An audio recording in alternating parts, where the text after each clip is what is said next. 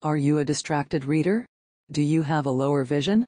Are you struggling with a course with a large amount of minute detail? If so, you will want to try out the Enlarged Text tool. It is located on the lower toolbar of WebReader.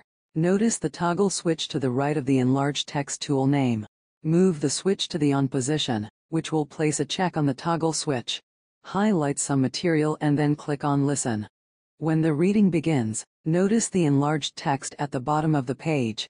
Your eye is pulled to the enlarged text, and not to the area highlighted in the document, which helps you to stay on track. As you have learned, ReadSpeaker is a text-to-speech tool that you can use in all your courses.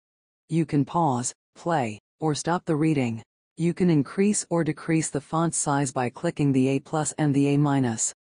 Even if you click stop, the enlarged text tool remains on until you return to the lower toolbar and move the toggle switch to the off position, which will then show an X on the button. This is a great way to receive smaller pieces of information at a time while reading the complete document and keeping you focused. Try this feature out to see if it helps you.